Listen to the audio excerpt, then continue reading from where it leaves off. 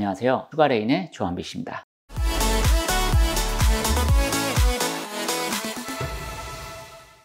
안녕하세요 여러분 슈가레인의 조한빛입니다. 이번 시간에는 여기 보이는 이 고양이 푸딩 있죠? 이 고양이 푸딩을 만들어 볼 건데 맛은 코코넛, 코코넛 flavor로 한번 만들어 보도록 할게요. 재료도 정말 간단하고 만드는 것도 정말 쉽기 때문에 여러분들이 카페에서 판매하시기도 정말 좋고 집에서 해 드시기도 정말 좋을 거예요.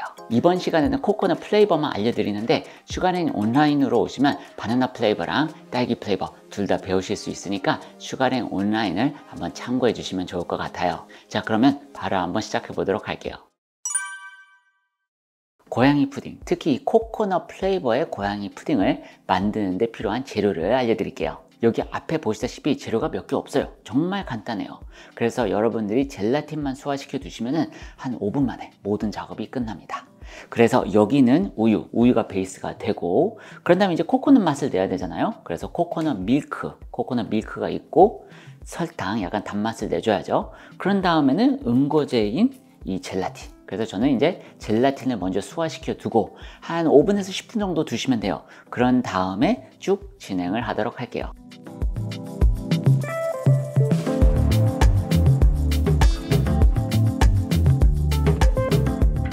이렇게 젤라틴을 찬물에다가 수화를 시켜 두었고 여기 우유에다가 코코넛 밀크 그리고 설탕 넣어 주시면 돼요.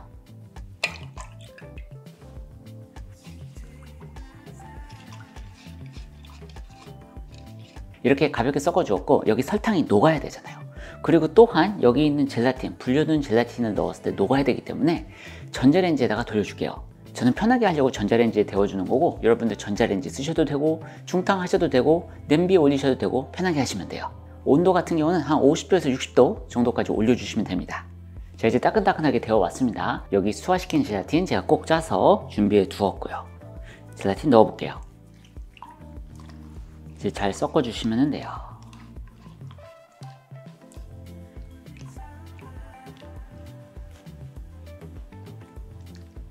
여러분 이렇게 실리콘 틀, 이 고양이 혹은 토끼 틀이 준비가 되어 있는데 실리콘으로 되어 있거든요. 그래서 이렇게 뒤집어서 여기다 부으시면 돼요. 이렇게 보시면 틀 밖에서 봐도 이게 고양인지 토끼인지 약간 헷갈리죠? 저는 아직도 토끼라고 불러야 될지 고양이라고 불러야 될지 잘 모르겠어요.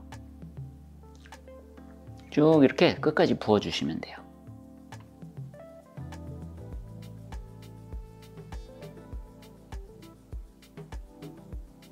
이제 냉장실에서 충분히 굳혀주시면 됩니다. 이 코코넛 밀크 푸딩이 다 굳었어요. 다 굳어서 이제 몰드에서 이 실리콘 몰드에서 빼야겠죠. 그래서 뺀 다음에 마지막 데코를 해주도록 할게요.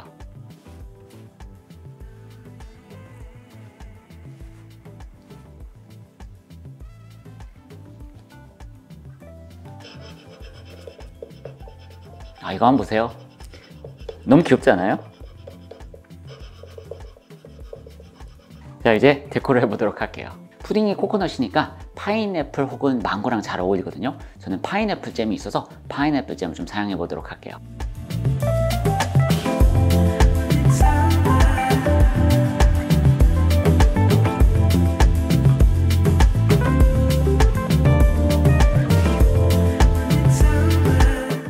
이제 한번 먹어봐야겠죠?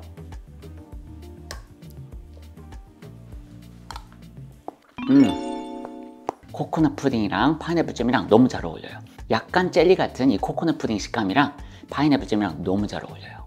어떠셨나요, 여러분? 정말로 간단하고 쉽죠? 저는 이 제품이 집에서 만들기도 좋고 카페에서 하기도 정말 좋은 것 같아요. 특히 인스타그램에 올리기 너무 좋은 특히 이 울렁울렁 꿀렁꿀렁하는 이 장면은 동영상을 찍어서 인스타그램이나 유튜브에 올리기 정말 좋기 때문에 어, 카페신 분들도 정말 잘 활용해 보시면 좋겠습니다 아, 그리고 딸기랑 바나나 flavor는 슈가레인 온라인에 가시면 레시피가 있으니까 참조하시면 좋을 것 같아요 그러면 저는 또 다음에 맛있는 레시피로 찾아뵙겠습니다 감사합니다 슈가레인의 조한빛이었습니다